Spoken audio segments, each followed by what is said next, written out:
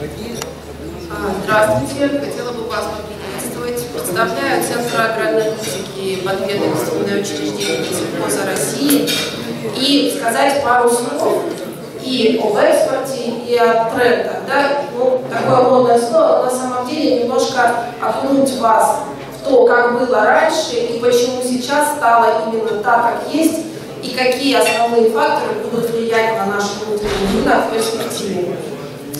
На самом деле, если кого-то успокоит, потому что эмоциональный график достаточно высок, а, если кого-то успокаивает, что у соседа тоже плохо, то на самом деле на мировом рынке наблюдается рост на все. На, все, на всех товарных рынках наблюдается рост. И начался он а, такой активный, практически вертикальный, когда началась история с пандемией, когда начались волнения, что ковид, страны начали менять свою психологию. Страны стали вместо того, чтобы активно поставлять на экспорт, стараться обеспечить свое внутреннее потребление. Мы, э, находясь на юге, являясь экспортоориентированными регионами, не можем игнорировать мировую конъюнктуру, что происходит в мире, потому что многие из вас прекрасно знают, какая сейчас мировая цена, какая цена на фобе, очень чутко за, за этим следят, гораздо круче многих аналитиков. А после того, как началась эта история с пандемией, начался рост, начал активно закупать Китай, который стал закупать судорожно сою, кукурузу, разогнал пшеничный рынок.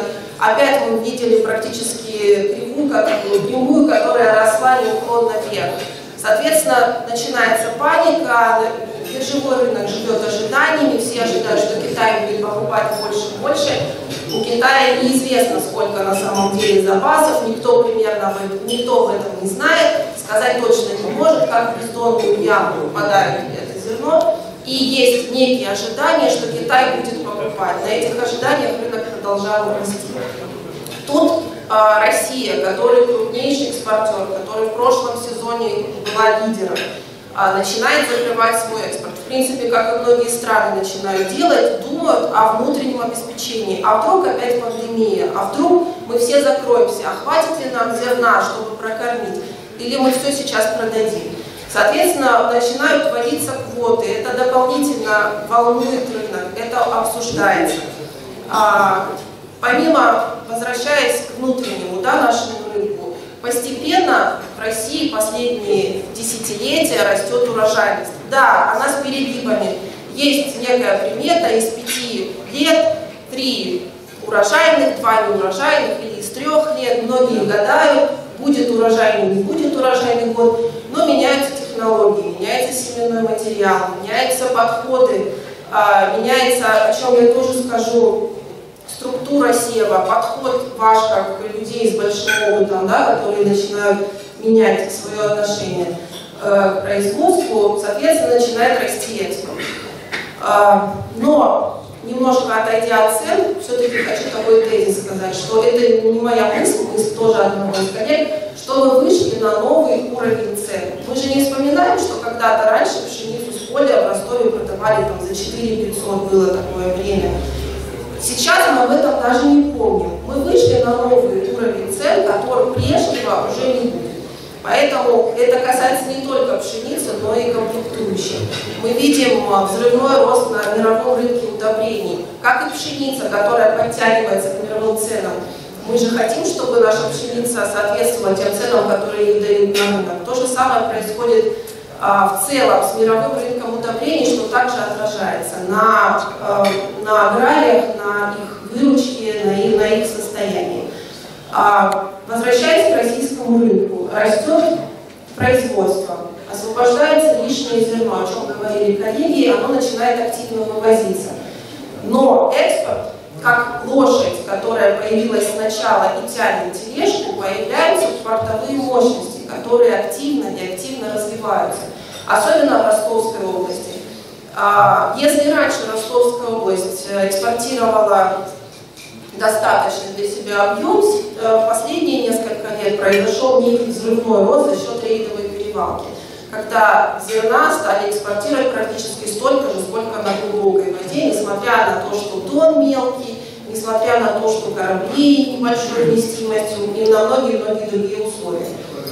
А, на самом деле, я думаю, что вы все читаете СМИ и понимаете, что есть а, вопросы по литовой перевалке, которые тоже поднимаются, обсуждаются на, на уровне Государственной Думы, и депутаты от Ростовской области активно отстаивают. И, а, но в целом, э, если сравнивать э, ростовский рейд и э, Новороссийск, то э, в Новороссийске есть существенные планы наращивания своих мощностей перевалки. Это Краснодарский край. Мы опускаем, что там есть Тамань и Туапсе. Помимо этого в Новороссийске активно хочет развиваться и НХП, и КСК, и НЗТ. А, в целом пытаются наращивать свои мощности почти в два раза. И летом они анонсировали НХП и НЗТ об образовании а, новой пристани, новой организации крупного инвестпроекта, который предполагается увеличить мощность перевалки с 13,6 до 25 миллионов тонн. Но ну, в целом это рост на объем рейдовой перевалки, который может быть. Поэтому это тоже, на мой взгляд, должно э, наводить на некие мысли, но в поддержку и правительства Ростовской области, и в поддержку э, вообще Минсельхоза России, в принципе, э, учитывается интересы Ростовской области о том, что это действительно существенная доля образования э, валового регионального продукта экспорта. Это очень важно, и рейд должен сохраняться. А, помимо этого, если думать на перспективу, развитие портовых мощностей в Новороссийске и в Краснодарском крае очень и очень ограничено, потому что море там очень агрессивное. На самом деле там реально негде строить еще мощности. Если вы посмотрите со спутника фотографию на эти на, на НЗТ, на НХП, там они натыканы, и в принципе там практически негде разрастаться, они перестраивают железнодорожные подъезды, перестраивают как бы, мощности хранения. В Ростовской области больше вариантов развития, больше вариантов наращивания мощностей перевалки, очень много берегов, которые, в принципе, для, с, с учетом развития логистики а, условий могли бы дополнительно дать прирост. А, это что касается экспорта. Помимо этого, основные наши покупатели, Турция, Египет, с учетом того качества урожая, что очень много в этом году продовольственной пшеницы, проявляют, продолжают проявлять большой интерес Турции засуха, а, Иран стал активно приобретать наше зерно, Египет продолжает покупать. Несмотря на то, что мировой рынок, когда вводилась пошлина, сначала фиксированная, потом демпферная пошлина, были уверены, что Россия выбита из мировой конкуренции и наконец-то европейское зерно поедет, ничего подобного, российское зерно продолжает ехать. Это вот для южного региона, то есть в принципе оно приобретается, спрос на экспорт есть. А, помимо этого, я бы напомнить, что были когда-то времена, когда на юге зерно стоило дороже всего. То есть максимум цены был всегда в Ростове и в Краснодаре. Даже в Краснодаре, потом в Ростове, потому что в Краснодаре были больше объемы. А затем некой волной постепенно цена снижалась. На экспорт ехало в основном южное зерно, Ростов, Краснодар, э, Ставрополь и близлежащие там Воронеж, Белгород и так далее. А, но ситуация с учетом роста мощностей перевалки стала меняться. Хочу еще отметить, что а, южное зерно – это специфическое зерно, и те условия, которые сложились в этом году, они особенные. Уже тенденция наблюдалась в прошлые периоды, но сейчас больше всего запасов на юге. И потому что мы много собрали, и потому что мы очень неохотно с этим зерном расстаемся. К чему это? Экспортеры вынуждены, наверное, коллега лучше расскажет, вынуждены приобретать не только южное зерно, а вывозить его с центрального, центральной России из Поволжья. В Поволжье не урожай. Ну, не то, что сокращение урожая засуха. В центральной России сокращение урожая. А, соответственно, там очень большие перерабатывающие мощности, животноводы, птицеводы, которые тоже активно хотят закупать это зерно для своих нужд. Переработка, опять-таки, мукомолы. А, поэтому цена внутренняя хотя мы получили ну, не такой уж низкий урожай, а, по данным, как уже коллега говорил, 76 э, миллионов тонн а, мы, получали, мы получили урожай пшеницы. Но несмотря на это, а, из-за того, что так медленно зерно реализуется, а темпы реализации сейчас минимальные за последние годы, зерно медленно уходит от сельхозпроизводителей, цена дополнительно поддерживается. А, говоря о пошлине, такой злободневный вопрос, мы все понимаем, что пошлина, которая сейчас существует, она продолжает расти. То есть цена на фобе, к которой она привязана, начинает снижаться, а пошлина продолжает расти. И вот это время, конечно, аграрии начинают понимать, что зачем я буду ее продавать, я лучше подожду, когда она будет снижаться. Для этого, конечно, нужно понимать, а будет ли бесконечно снижаться фоб, до какого момента ждать. Плюс нужно понимать, как входящий фактор для размышлений, плюс нужно понимать, когда вот это все южное зерно, которое мы храним, на нем сидим максимально, хлынет на внутренний рынок, то есть кто-то повез, и все следом за ним повезли. Мы же не видим общую картину. Соответственно, как только это зерно хлынет на рынок, а его много, оно, естественно, пойдет на экспорт, и вопрос, э, что будет с ценой, конечно, высокая цена не будет. Еще по поводу пошлины скажу, что 26 ноября были приняты изменения в расчет экспортной пошлины, когда попытались уйти от ситуации, чтобы пошлина продолжала расти при снижении ФОП, исключили из нее выполненные контракты. То есть, например, экспортер уже поставил на экспорт э, продукцию, выполнил этот контракт, но эта цена до сих пор еще учитывается в расчете пошлины. А, принесли эти изменения как раз таки с целью, чтобы немножко сократить этот временной лаг, то есть достаточно длительный период, э, пока пошлина будет изменяться. Что еще хотелось сказать э, по поводу урожая? А, про запасы мы поговорили, по поводу урожая. Коллега очень, Игорь Ковенский очень правильно все сказал. А, очень многие аналитики высказываются. Вообще нам нужно понимать, зерновой рынок в целом живет ожиданием. Мы уже прожили этот сезон, у нас уже есть зерно. Что будет в следующем году? Если все соберут много зерна, то какая будет цена? Если они не соберут зерно, нужно ли его сейчас продавать, подождать ближе к запарке, ближе к э, началу следующего сезона? А, что касается сейчас озимых, то действительно а, сельхозпроизводители уже сделали свой выбор. Они на, э, на юге не изменили а, своим приоритетом и все равно продолжили сеять озимую пшеницу. При этом понятно, что в центре и Поволжье сев состоялся чуть меньше, но все равно согласна, что ожидается хороший, пока что ожидается хороший урожай. Мы не знаем, какие будут условия, опять там может быть корка, опять могут быть там засуха и так далее, но есть надежда, что урожай будет хороший, более или менее. А что будет с, не, э, с тем объемом, который не досеял центр, или с тем объемом зерна, который не досеяла Поволжье? Что они выберут? Они выберут яровую пшеницу или они выберут подсолнечник? Но это тоже такой вопрос не одного сезона, нельзя резко перескочить с одной культуры на другую, это действительно достаточно длительный процесс. Плюс э, вопрос, висящий в воздухе, о удобрениях, конечно. А, мы понимаем, что некоторое время рынок двигается по инерции, но в перспективе мы можем наблюдать сокращение внесения удобрений и изменение урожайности. А, ну еще в конце один из трендов, да, не могу об этом не сказать. Хорошо. Один из трендов – сокращение э, озим, сокращение площади сева яровых культур в пользу озимых. Если раньше мы сеяли еще там 10 лет назад меньше озимых, больше яровых, то опять-таки изменение климата. Юг становится все суше, э, лето становится все агрессивнее. Мы ориентируемся в пользу озимых. А, центр а, и Поволжье, в принципе, пока на грани. Но опять-таки, если в Поволжье будет хорошая погода, Обычно так, если Поволжье хорошо, если я это уже еще не говорила, то Поволжье, если хорошо собирает, то у нас максимально высокий урожай, как было в прошлом году.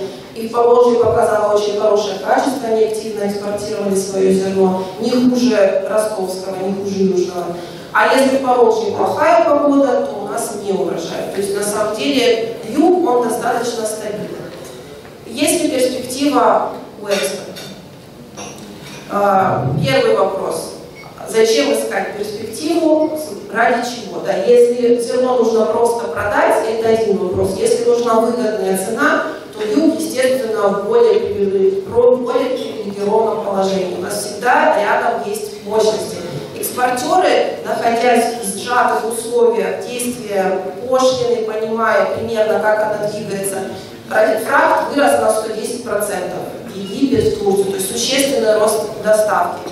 Фрактуется судно максимально близко к дате выполнения контракта, поэтому нужно максимально быстро закупить зерно. И если, соответственно, эм, мы будем эм, видеть э, э, цены, я прошу прощения, э, думать начала другого. Так вот, и последнее, что хотелось бы, две, две темы я опущу хотелось бы сказать о изменениях, которые грозят на следующем рынке, на зерновом рынке. Понимая волнение по поводу пошлины, понимая э, волнение по поводу субсидий, не могу это не сказать, потому что один из тезисов, почему мы узнали поздно. И мы об этом не узнали. Я считаю, что лучше об этом узнать сейчас, если вы этого не знали. То со следующего года, согласно постановлению правительства, сейчас скажу, 1722, вводится информационная система прослеживания зерна, которая нацелена на то, чтобы регистрировать все зерно, которое передвигается по России. А, а, инициатором, заказчиком этой системы является Минсельхоз России, оператором является Центр агроаналитики, то есть мы осуществляем консультационную поддержку. Находимся мы рядом с Министерством сельского хозяйства, работать горячая линия. Э, суть в чем? Э, если вкратце, чтобы немножко снять вопросы, система, э, система в тестовом периоде будет тестироваться с 1 июля. Обязательно все сельхозпроизводители, согласно этому постановлению, будут заносить информацию о своем зерне с 1 сентября следующего года. С 1 марта 2023 года это будут делать переработчики и заготовители. А, схема такая, если на пальцах. Сельхозпроизводитель, собирая свой урожай в уведомительном порядке через свой личный кабинет, а порой туда он получает через госуслуги условно, а, в этом кабинете он заносит объем зерна, который он примерно собрал. Подведомственные учреждения Россельхознадзору, Центра оценки качества зерна видят, сколько зерна конкретно этот производитель собрал и осуществляют оценку этого зерна на безвозмездной для производителя основе, подчеркиваю. Проводится оценка этого зерна, вы понимаете его качественные характеристики. Постановление, э, приказом Министерства сельского хозяйства определен список этих характеристик. И когда вы хотите продать какую-то партию зерна, 10 тысяч тонн, вы формируете эту партию, и на нее формируется сопроводительный документ, который называется СГИС. И этот СГИС будет эту партию зерна преследовать до самого момента окончательной реализации, либо для юга это экспорт или окончательная переработка. А, для производителя что дает эта система? А, вы если вы покупаете зерно, то вы можете оценить реальное качество этого зерна через эту систему, вы можете проверить достоверность этого СТИСа. В перспективе, когда эта система будет наполнена, переработчики будут понимать, у кого зерно лучше, какой производитель на протяжении определенного времени это зерно более качественное поставляет. Соответственно, будет подбираться список, э, ну, каждый переработчик или закупщик или хранитель определять список контрагентов. Пока система находится на этапе окончательных тестирований и проработок, учитываются рекомендации. Если у вас, как у производителей, возникнут э, вопросы или желание узнать какую-то аналитическую информацию свод, то с учетом соблюдения конфиденциальных данных и персональных данных а, исходя из запросов производителей, какая, ряд информации будет предоставляться по запросу. Спасибо.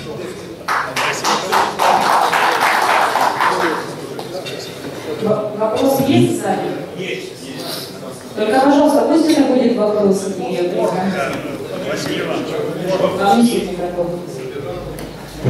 пожалуйста, а сколько будет стоить эта услуга? Я повторила, что услуга будет бесплатна.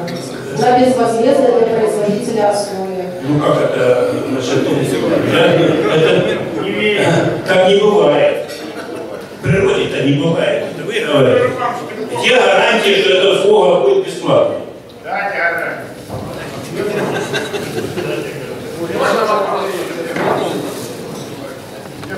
Я прошу прощения. Спасибо, что бесплатно нас посчитаете.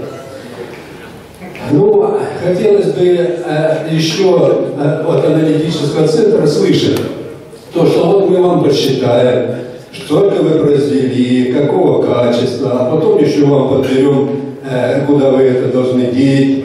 Но вы хотя бы в рамках каких-то нам сообщили цену, ну, февраля месяца, мы бы могли сориентироваться, сколько мы должны положить затрат.